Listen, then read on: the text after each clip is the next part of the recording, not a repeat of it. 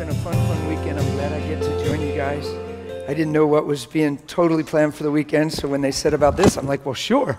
And uh, figured there'd be folks here, and and uh, so I don't take this lightly that you let me be right here. Thank you. It's it's a humbling thing. I don't ask to preach. I've never looked to preach. I been in love with Jesus for a little while, and he just kind of does things in your life. But I'm a little like I'm thinking axe throwing contest. This is cool. I said I'm in Canada. I'm in, I'm up in Canada, and and I thought, okay, never heard that before. That's that's amazing. And uh, I thought I looked at the date and I thought, man, it's a little ways away. Some of you guys have a chance to even grow out your beards more and just get into it, man. Just get let it go and. you might even throw better. I, I don't know. I just pictured some of you guys getting nice and burly and buying a Woolrich jacket and getting in the contest. so I won't be here for that, but I'm here this morning just for a little while. And I want to cheer your hearts on the gospel. You guys are well taught. I can perceive when I came in, you can just perceive atmospheres. It's awesome. Connectivity and family, and it's good. Uh, man, what an honor, huh? That God would send his son to shed his blood. Never get familiar with this. Think about this that, that God would put himself in a body and take on flesh to pay the price for flesh that failed so that he could restore it back to what he always desired and intended. It's so personal and it's so intimate. It's a far cry from blessing, it's a far cry from just going to heaven. And, and I know you guys know that. It's, it's so much more, but I'm, I'm talking to everybody on a very personal, not just corporate level this morning. Man, please recognize that to God, no matter what statement life has made, your life is so valuable to Him. We, we have found identity through so many things. We have found our worth through so many things. Man, we can just let a bad re- response from somebody that we respect just crush our whole lives. And the whole time the blood's here speaking better things and God's saying, hey, you're more than what men are seeing. You're more than what you made a mistake in. You have a greater potential than what it's been. Hey, love you. You're so much more. See, the cross doesn't say, you bunch of sinners, I can't believe you did this to me. I wish you'd change like yesterday. Look what your sin has done to me. I hope you get the point. The cross says, I know who you are. I've known you from the beginning. Your life is my plan. Your existence is, is my idea. And when things changed, I became like you, yet without sin, so I could get rid of the problem and move back into your lives and become one with you. I love you, people. Your lives are worth living. I'm glad to be here. Please the Father to bruise me because He knows who you are. And He wants to live inside of you. That's exciting. And this thing is so much more than just encounters with God, as important as they are. I'm not suggesting as man, come to your conference and get to know him more and encounter him and receive impartation and let God ravage the atmosphere and touch your life. But make sure that when you wake up in the morning after that conference, that you know you're personally valuable and you have a sphere of influence and your life matters and you're in the roster of heaven and you can shine as a light in your life. You following me? Come on. We are not here just to be touched by God. We are here to be transformed by Him and restored back to His image. So His heart and His love is inside of us, loving and living through us. Come on. We are the body of Christ. And the whole reason the morning we gather, it's not because you're a part of Gateway. It's not because this is the church I attend. It's we don't forsake assembling ourselves together so we can stay stirred up in the truth of why we're here, of why He's in us, and stay stirred up in love and good works. I just promise you, now is not the time and never was to get your heart hurt, offended, discouraged, to get self conscious, low esteemed, identity struggling. It's never been the time. Christ has come. He's died. He's sent a message. Your life's worth living. I want to move inside of you, transform you, call to death the old man and his deeds, and put on a new man called Christ in me. It's really, really exciting, guys. So I just want you to understand that your life matters. I'm not sure if I'm talking to one, but I know I'm talking to everyone in general. But, but don't be deceived in this season. Don't let something matter more than what matters most. And please don't let life speak louder than truth, because truth is what makes you free. And if you're internalizing conversations and relationships and things that are making statements towards you apart from what he said by dying on the cross, you are going to be deceived and make a mistake.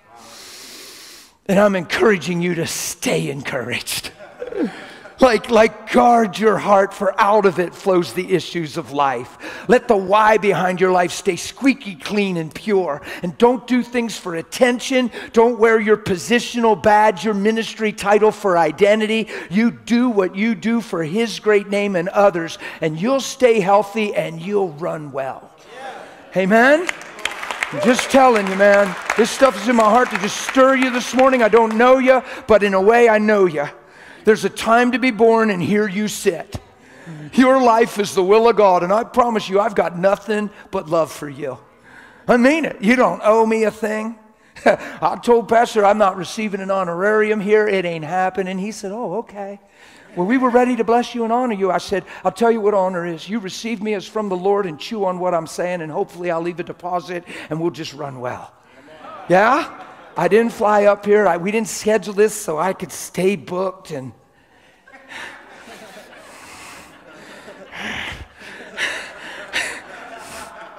I don't do ministry.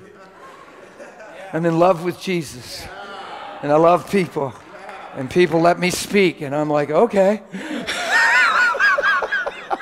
I don't do ministry. I don't promote a thing. I, I, there's people that made a website for me. I like don't even have a website. I'm not trying to build anything. I just want to minister what's here. And I want to see it multiplied in the lives of believers. And I want to see Christ, the hope of glory, become a reality in your everyday sphere of influence, where you literally are walking in love where you're Christ conscious, where you're not low esteemed or self conscious or in the fear of man anymore, where you've had a viable intimacy with God, where you've woken up in the morning with relationship with God and He's fine tuned your eyes so the lamp of your body is single and you actually understand why you're alive. Yeah? Come on, it's a big deal. So many good people get misdefined through the way life unfolds when Jesus is their true identity the whole time. I've watched good people, through the lack of understanding, take hard hits that understanding would have avoided. I've watched bad things happen to good people and they internalize it, rationalize it, analyze it, talk to friends about it. It becomes their thing, it becomes their. And all of a sudden, they're no better off than what they're going through instead of the one inside of them. If you squeeze an orange, you expect orange juice. That's a no brainer. It'd be so weird, dude, if it was apple juice in your cup.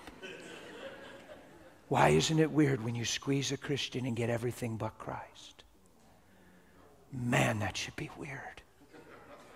I wish that was so weird to all of us. That we understand when we got water baptized we died to ourselves.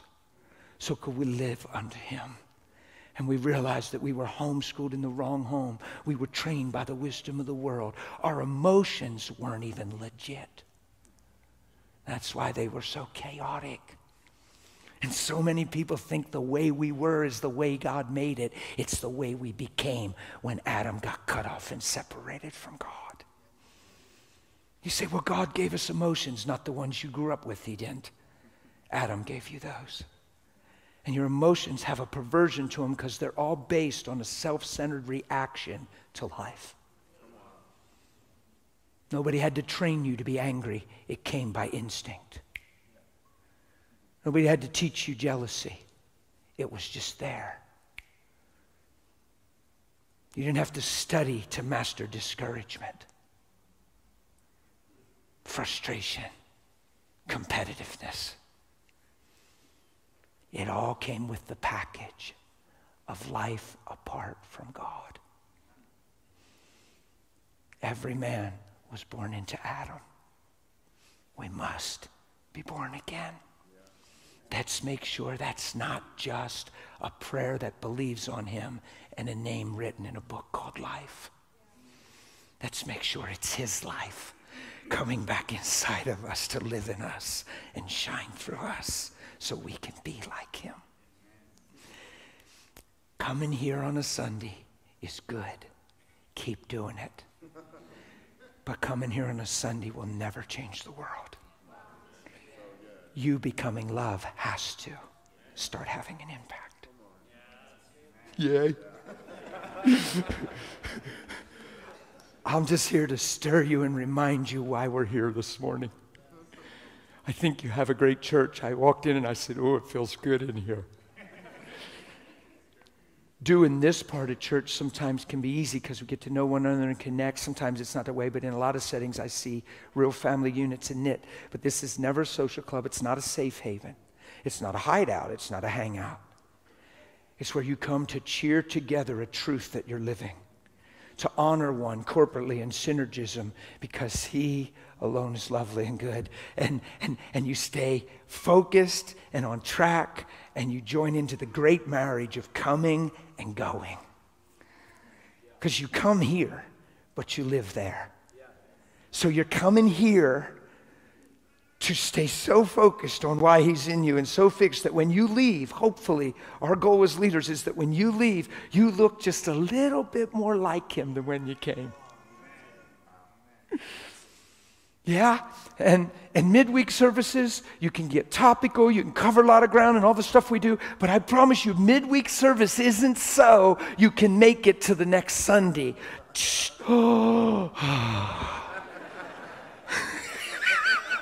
I promise you, that is a lie. Life is not so tough that Sunday to Sunday is a long haul, so we better gather in the middle to stay filled. Well, brother, we leak not through cracks, we leak on people. And you're anointed, and your cup runneth over. Spirituality is not measured by the level of the cup, it's measured by overflow. If they're drinking out of your cup, you got a problem. They're going, you're going dry. you are not drinking out of my cup ever. You can't even reach the rim. I'm just telling you. Well, you know, you can get burned out ministry. I have no idea what you're talking about because I don't do ministry. I'm in relationship with Jesus, and his love has overwhelmed me. I'm not doing ministry. I'm in love.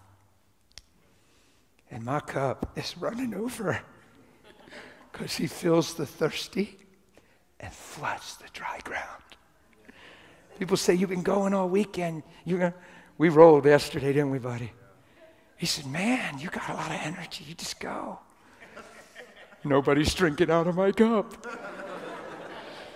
We have this Christian idea, brother, let's just pray for you. You've poured out, you've given all weekend. We just want to ask God to just fill you back up and pour back in.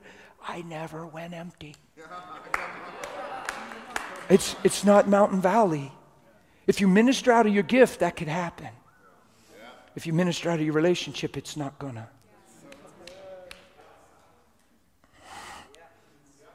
Believe me, if you're doing ministry, it's different than just doing Jesus.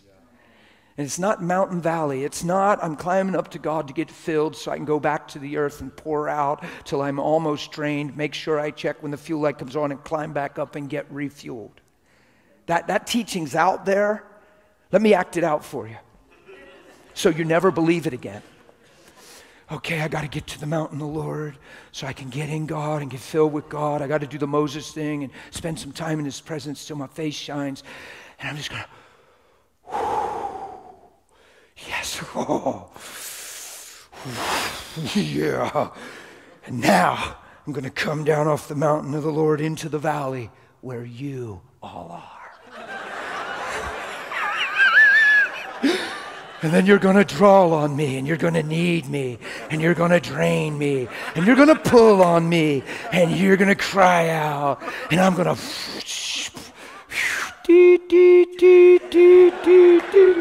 T T T T T T T T.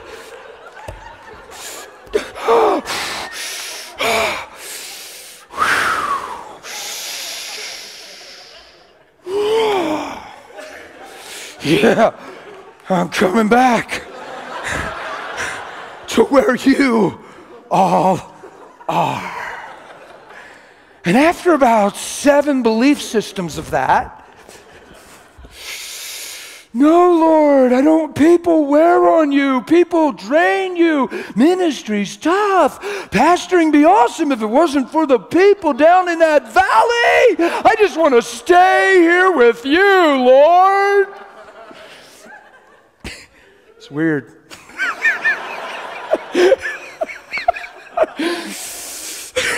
Sorry, it's just weird.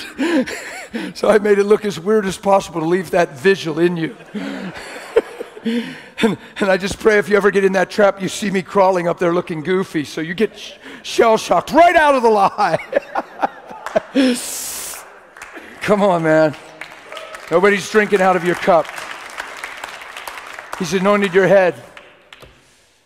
Your cup runneth over. He strengthened you like the wild ox, not the domestic ox. You can't yoke a wild ox. It ain't going to work. You ain't even going to hold him enough to put it on him. You're not going to harness a wild ox. You, you take a massive beast, an ox, a massive, strong beast, and they harness him and make him walk in a circle and tread out grain and do the will of another. That's a yoke. He strengthened you like the wild ox. You're yoked up to him. Yeah? His yoke is easy and his burden is light. Come on, think about it. He said, if you're laboring, if you're heavy laden, come unto me. I'll give you rest. You know what we think that is? We think that's Jesus going on your forehead. That's not what it means. He changes your perspective, your reason for being, and your view on life, and makes your eyes single. He changes what you believe. He doesn't minister feelings to you. He changes what you believe so you're not subject to the lie anymore and the feelings that come with them. You know how many people are even living to survive? You know how many people are tricked into being Christians for their sake? Do you know how many people are Christians for blessing, provision, protection?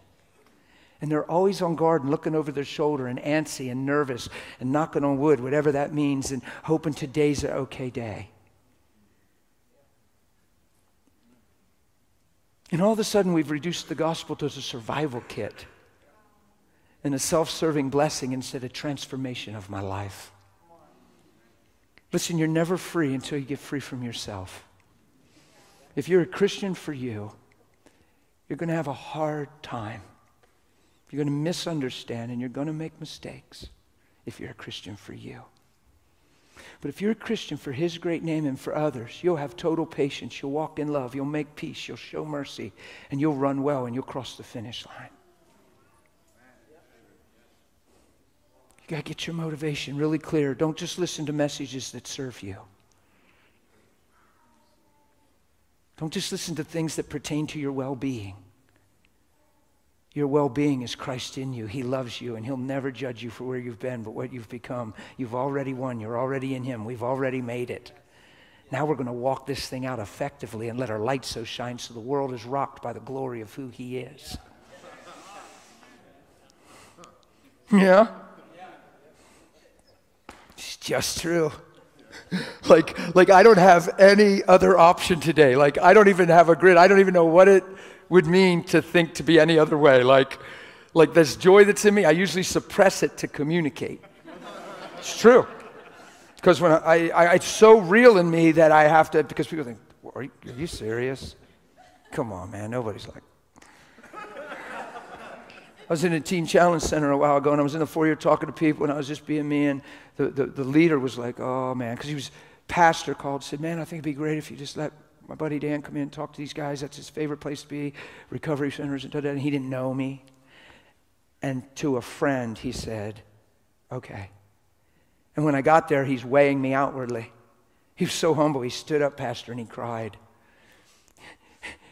His wife got healed the guy that just retired because he couldn't do the stairway anymore in the facility and he didn't want to retire, but he did because of physical things and kind of went on disability. Got brand new knees when the guys prayed for him. A boy was born with a club kind of funny foot.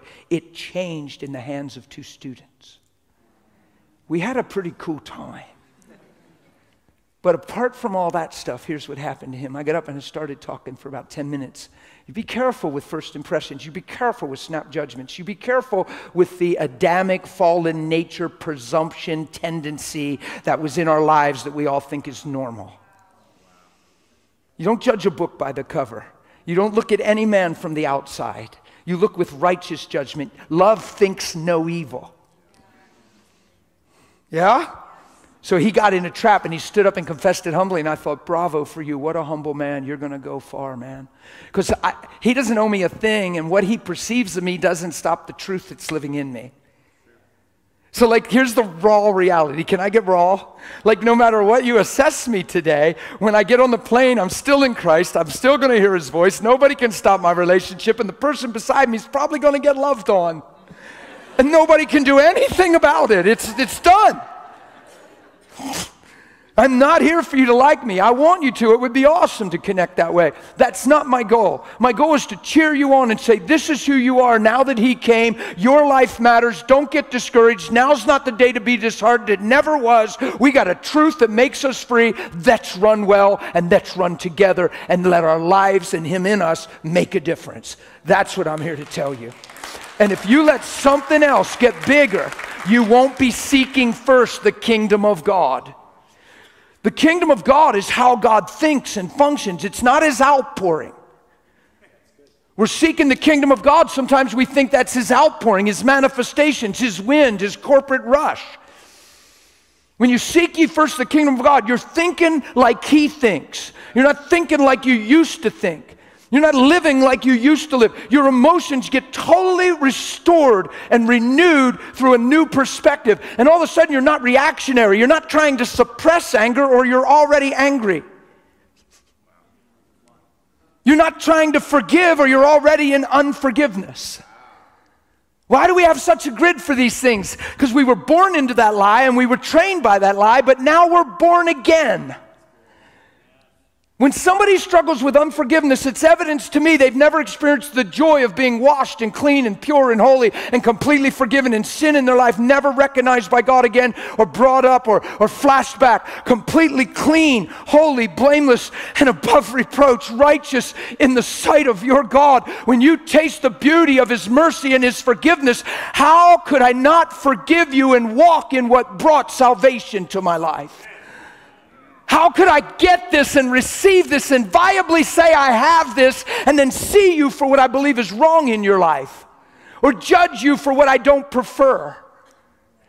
Friend, never again is that in my life.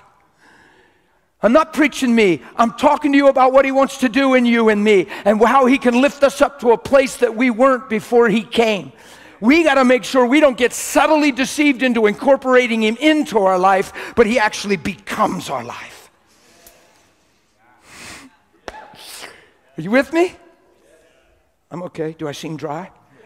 Thanks, man. Thanks, man. I'm going to drink this since you brought it up here.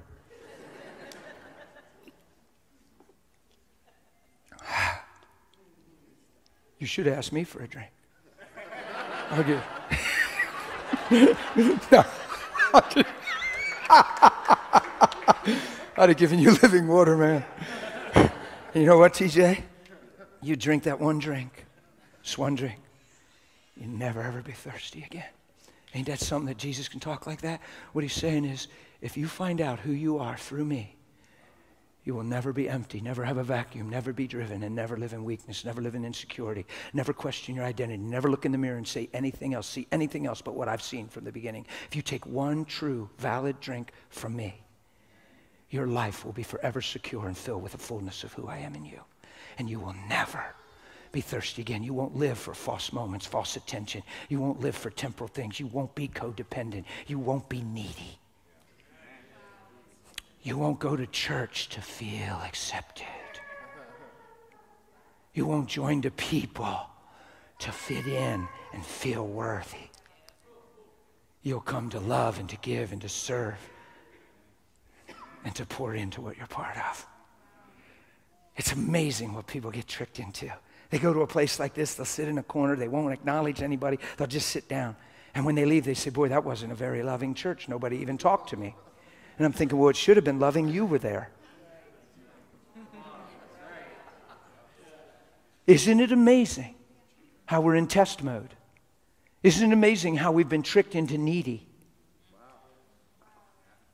So we go to a church to test the atmosphere to see if they, instead of just already being free and filled and just loving people and pouring out your life and It's not what I can get out of an atmosphere, it's what I can bring into it. It's how I can give and lay down and serve and prefer others and not seek my own interests, but also the interests of others. It's actually in the gospel how I can love not my own life unto death and lay my life down for the sake of the whole and the sake of another. Honestly, when I read my Bible, anything else isn't Christianity. It's narrow. It's so good because it's where freedom is. Until I'm free from myself, I'm never free because I'm self conscious, I have anxiety, fear has a platform, my well being I take into interest. Do you understand that some people are Christians for the protection and well being of their family and close knit unit? I understand to pray for those things. Pray for your children, pray hedges and covering and blessing. I get it. But if your motive for a Christian is the well being of your family, you're in trouble. He said, unless you love less that list that you're a Christian for, you'll never fulfill why you're a Christian. This thing is not preservation, it's manifestation and expression of Him. If the only reason you're in this thing is for well being, you'll freak out just when things are symptomatic. You'll get so self focused, self centered, all your prayers will be about your world working. And you'll pray, but your motive is way far from why he's in you. And then it's just about preservation. And all of a sudden, if your child's not doing well, your productivity is racked and shipwrecked, and, and all of a sudden your countenance is whacked out, and, and, and all of a sudden you're just a product of what your child isn't. And then you have your identity wrapped in your children. As much as we love our children, it's so easy to do then because we're not thinking on a spiritual level. And now there's not even faith in our prayers. We're just desperate, crying out. We're non productive. We're wearing it on our sleeve. And when we go to work, we're just poo. And all of a sudden, it's like, wow, the only reason people go to God is for well being. And if it ain't happening, we're in a quandary. It's not powerful. Man, the greatest thing you can do is have two children that are making bad decisions and, and, running wild, and you're in a position of faith and you know they've been invested into, and you trust the love of God and the hand of God in their life, and you believe it won't come to destruction, but God will bring them to redemption and reconciliation, and you rejoice in that in your bedroom and probably don't just cry out every day and pray. You say, Thank you, Father, and you go on and live productive and shine as a light, and one day your coworkers will find what your children were going through and say, Man, I didn't even ever know that in you. I, I would think you would have been a mess. Well, I would have been a mess. I'm in faith. God is bigger than their decisions and actions. His grace and mercy is greater. I was trusting God the whole time. Dude, I'm impressed with that. You like didn't even show that. Christianity is no smell of smoke. You've been in Nebuchadnezzar's fire, but you more have more passion than ever because there's a fourth man in there. And even though you're in the fire, there's no bonds, there's no bands, you're not handcuffed. The Christian testimony is no smell of smoke. It's not, hey, brother, how's it going? Well, keep me in prayer, man. It's a dead giveaway that we're Christians for what he can do for us if we're not careful. I'm not saying that's you. I'm saying don't ever let it be you.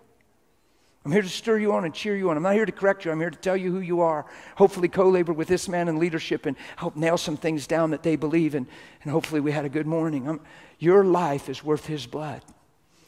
That's a big deal. And I'll make this comment in closing. Just the whole goal, 1 Timothy 1 5, the whole goal of our instruction is love. Why is that? Because in the beginning, when God made man, he made man in his image and his likeness. And when he breathed into man, man became a living being. So, would you agree with me that we have enough evidence scripturally that all that God was, who he is, was inside of man and that they were one? Would you agree? So two were one. And he said, Subdue the earth. Not be subdued by it, not live in fear, not be vulnerable. Subdue the earth. Work it, tend it, subdue it. I'll give you dominion over the work of my hands. Yeah? It's a big deal.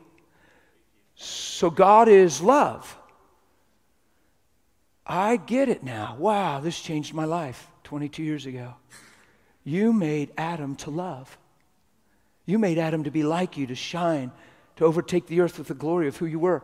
You told him to be fruitful and multiply, but you had him in a confined garden space. That's a one, two room apartment. You're going to be fruitful, and multiply. You're going to outgrow that space, but that was the place of your glory and paradise and presence, and they were your workmanship and your crowning creation and glory. So, so wow, be fruitful and multiply, but they're in a confined garden space. What's the whole point? That they reproduce after their own kind, seed time, harvest time, that out of the fullness and strength of who God was in their lives, they would come together and multiply. Not just sexual urges, not just, hey, girl, you're looking good today. Hey, you know, I'm having the urge to be a mom. No, no. Just coming together in absolute selfless, amazing, honorable love. My life is yours, your life is mine, too. become one. Bam! Seed in that place. Something reproduced after its own kind, spreading out the garden till the whole earth is filled with his glory. That was what was going down. That's why when that was lost and Moses was in the wilderness with the children, of Israel and they were just messing, messing it, missing it, missing it over and over and over. And God said, He said, Moses, you know, he, man, he, he probably had a dude just walking around with a wardrobe, you know, and he'd put on a new, and he tear it, dust, God. This is crazy, man. So he's in one of those moments and he's all dusty headed and he's torn up and his shredded his threads, right? And, and he's crying out for the people, Would you forgive? And God says, Oh, I'll forgive him. Da, da, da. He says, But let me tell you something, Moses. And God prophesies he's God. He says, As surely as I live, the whole earth, in the midst of terrible cycling, terrible mess, surely as I live, the whole earth will be filled with my glory. What's he doing? He's going back to the beginning, the original value, where his love never fails. On your darkest, most willful day, he said, I know who you are, even if you don't. And I love you for what I made you to be. And I'm not mad at you, I'm longing for you. I'm not frustrated with you, I'm drawing you. And when your sin abounds, my grace is coming greater because I have a destiny for you. And I've known it from the beginning. And even though you don't see it, and forgive them, Father, they know not not what they do. I'm here to light this thing up and give you understanding and draw you unto me. Yeah? Come on, it's the gospel. It's the gospel. So here's what I found out when I was reading my Bible. Here's what I found out. Oh my goodness, God made man to love. And love doesn't seek its own. And love never, ever keeps a record of wrong or takes an account of the wrong done to it. Well, the fact that we have so many issues and people stuff, well, they did, well, they shouldn't have, well, how come they, well, that hurt, well, no wonder I'm upset, well, how would you feel? And all that language that came along the way is all anti love. And we learned it from a lie. You never saw what we grew up saying in Jesus' life. And he never taught us these things. So, where did we learn it? Here's what happened God says, Adam, the day you eat the tree of the knowledge of good and evil is the day you surely die. Well, he didn't fall over dead. We all know that. And we've preached on this and preached on this, but it's so simple. It's just, there's a lot there, so it's not wrong that we preach on it. But it's so simple. Don't miss the main thing. The image died. His creative value was lost. Through sin, he got separated from the source of love and immediately became in need of love. And every man since that day was born into that lie and needed love. We have it all psychologically assessed. Well, everybody needs connectivity. Everybody needs a strong support system. Everybody needs a everybody needs encouraged. Everybody needs a kind word. So we live from the place of weakness, hoping everybody around us does us right so we can be okay. We've been forced into a needy position that's unfulfilled. And we get tricked into finding ourselves through one another when all you can ever find yourself through is Him. If I wake up to need you, I woke up to set you up to fail me. And now you're my justification for not being like Him because you didn't do what I need.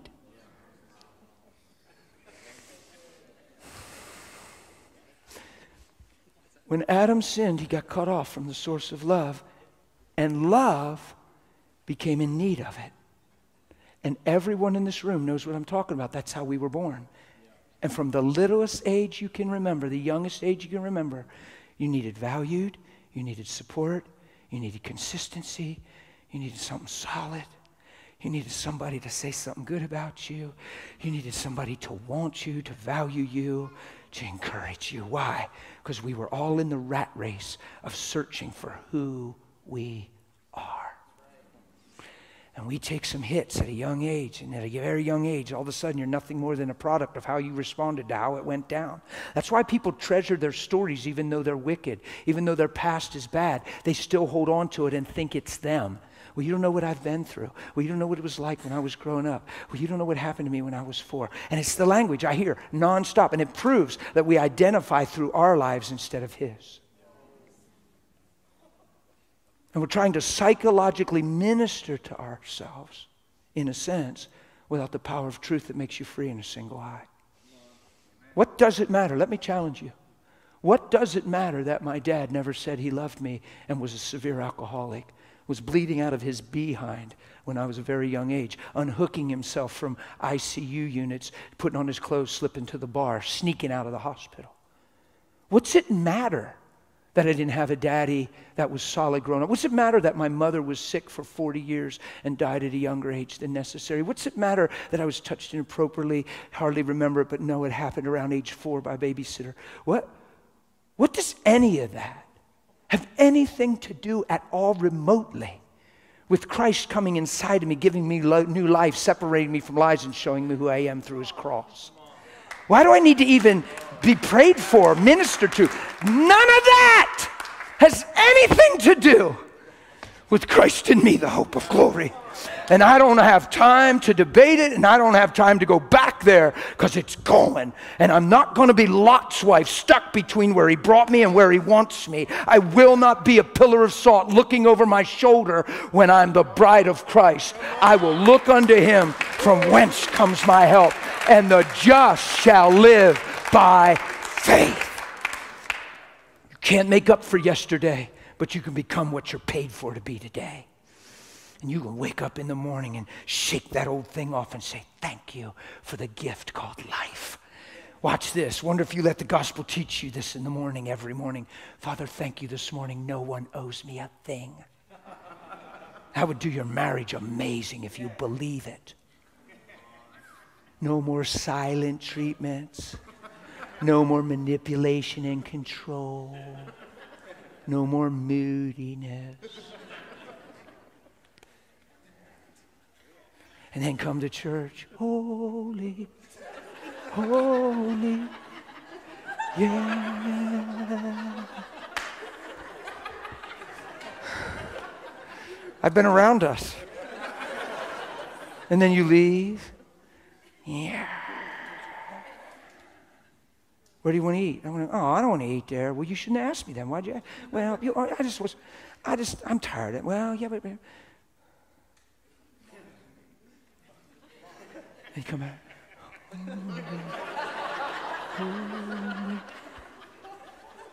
Probably not good.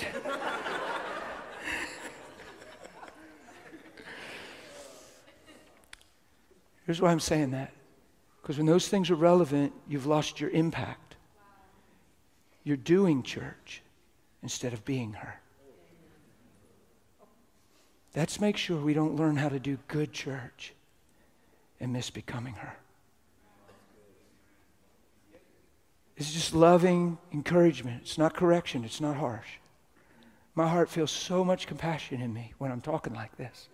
I am not here to hurt you. I'm here to cheer you on and say, let's run well together submit to this leadership and, and commit yourself to the cause of God in your community and don't ever look back. Go after this thing and keep your heart from offense and disappointment and discouragement. You be honest with me. If you're discouraged, where's your focus? on how whatever it is you're discouraged over is affecting you personally and what it's creating and causing in your life and how you have to deal, respond, or cope. True? Watch. It's a self centered perception, right? If any man come after me, let him first do what? We got to learn what that means without legalism and rigidness. Wow, was never made for me. I was made for your image. So, me living for me is the biggest lie on the planet. Men living for themselves when they're created for his image. You be honest, countless messages have been preached for generations that pertain to the benefit of the hearer, not the transformation. So discouraged people go to church wondering why faith isn't working and why God isn't moving and why their blessing didn't come in and why their doors didn't open. And the whole time they're in that quandary, they're rendered unproductive because it's all about their blessing, not shining. You wake up in the morning for one reason, scripturally, one reason to shine. And if you've missed shining, you've missed the point of why you woke up. You're on the earth to love. And when you yield to that simple, beautiful place, the blessing beyond description floods your life, and the joy of it all is overwhelming. When you get free from you, you're finally free. Because when I'm free from me, guess who else I'm free from? You. So no longer can you be my justification. No longer can you be my excuse. No longer will I only be as strong as the weakness around me. And no longer will you ever be my reason for not being okay. Because you're not Jesus. I'm called to love you, not need you. I need you to lock arms so we can run together and have a greater impact. But the day I need you to know who I am, there's a weak link in my life. And I'm going to let you set me up to fail. I shouldn't even put that on you, should I? Do you know how many people are hurt by people in ministry? You know, if people are hurt by people in church, it proves we don't have a revelation of everything we're singing. And we've allowed who we were to carry over into who we've become. You good? Just cheered you on. I'm not praying down fire right now. I'm not even praying for the sick right now. I'm not doing any of that right now. I'm going to sit down and graciously say, Thank you. I feel like I've said what I'm to say. I, your life is worth this to him. It's not a hardcore, heavy duty, OE old thing. It's a wow, what a privilege. New perspective. Life is amazing. What a gift. I'm going to love you because you love me, and I'm going to see people more like you see them. I thank you. You're putting who you are in me in an effective way. And you start saying things like this in prayer.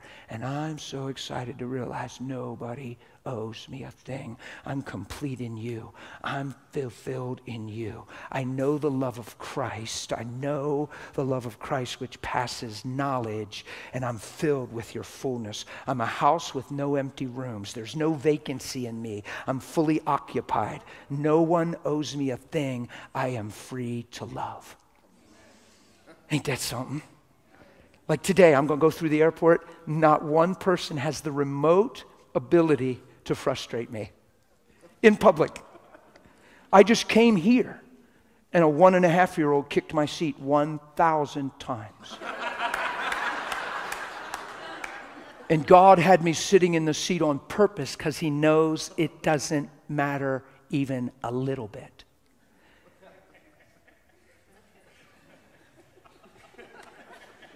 I'm looking back, loving that guy, tickling through the seats. He's peeking his head through. Hey, you little buddy. Peekaboo.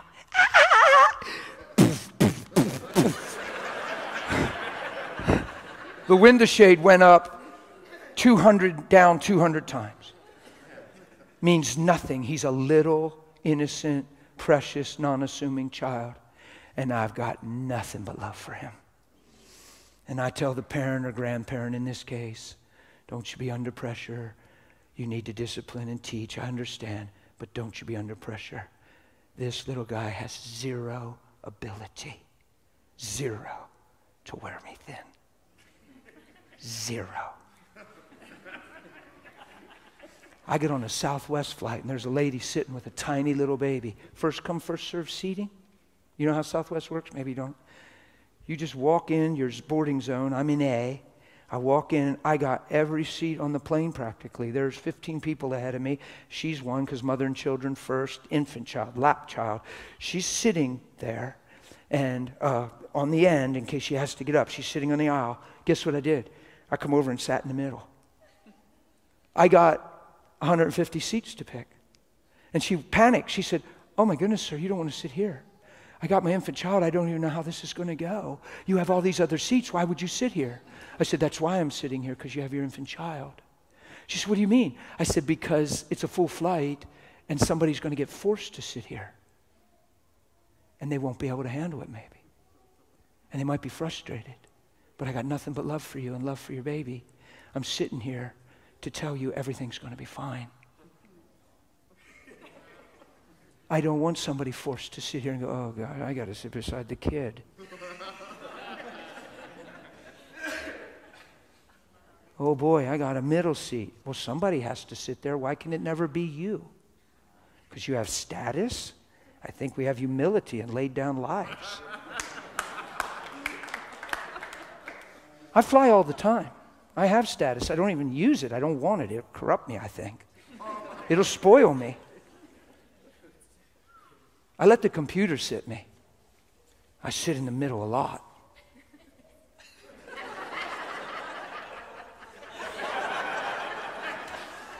Wonder if you get a seat back by the pooper, dude. Somebody got to sit at the pooper. Why can it never be you? Probably be good to sit there once in a while. It's just simple stuff. Look, if you're going to get let the seat in your plane, on your flight, dictate your disposition, you're a giveaway. Life is going to eat you alive, and you'll do church, but you'll be shipwrecked when it matters. Because you'll be more worried about your flight than the person that needs Jesus beside you, or the person that's hurting two seats over. You won't even discern it because you're wondering if you're going to make your connection. What's it matter? My life's not my own. I'll get home soon enough, but we'll love a few people on the way. Yay. Can't believe my I missed my flight. What did I do to open this door? God, why are you letting this happen to me? Don't let that be your theology. You guys okay? I hope I didn't shake you up too much. I just want you to live genuine. Can I pray over you? Would you let me? Please? Are we good? Did I finish? We're about 10:30 you said, right? Yeah, okay. Yeah, I, I, I just realized I went past and I'm like, uh-oh. You saw me, I look at my watch 20 times and then I'm like, ah! Father, I thank you. Let's be, on, let's be honest in this. Let's not be religious. Let's not be rhetorical. Would you do something? Would you activate your heart? Stand to your feet with me? Please, if you understand what it means to lift your hands to the Lord and yield and surrender, please do that. If you don't want to, you don't have to. I'm not commanding you. But make yourself available to Him. Position yourself before your King. Father, let these words bring fruit into our lives. Let these words protect. That's good. Thank you. Let these words protect us in our soul because none of us woke up to miss you. I know that in the room. I'm not talking to hypocrites. Are you kidding me? I'm talking to your children. None of us woke up to miss you. Let us stay fine tuned. Don't let the little foxes sneak in and steal the fruit that's growing on these vines. God, let us be effective. Let our lives be dynamic. Let our lives be influential and reproductive. Father, I pray in this house that the light would shine strong. And I pray, Lord God, that these people would so understand that they're coming here to be trained, equipped, and empowered to go there. And I thank you that in their everyday life, Christ matters through their life and the lives of others. Without them trying to be evangelistic, without them under pressure evangelistically, that love itself is evangelistic, and that the draw and attraction of what you've done in them is powerful and enough. In Jesus' name, I bless this house and pray for wisdom and thank you that the grace rests upon it. Amen and amen.